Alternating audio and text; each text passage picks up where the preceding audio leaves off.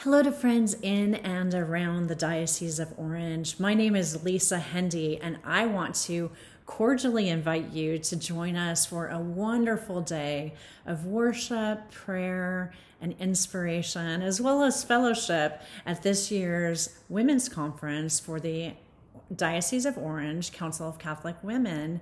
It's such an amazing opportunity to join you to talk about one of my favorite topics, which is the fact that we are all saints in the making. We're not there yet, but we're well on our way, and I'm looking forward to sharing my thoughts on that topic, to learning from you, and also to being treated to a special performance by Bishop Vann, who will be joining us to share his musical talents. So come together with us for the Eucharist for the prayer of the rosary together, for wonderful refreshments, and an amazing time of friendship.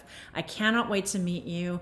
Click through, register now, and be sure to bring a friend. It's going to be an amazing day. God bless you, and I'll see you on March 11th.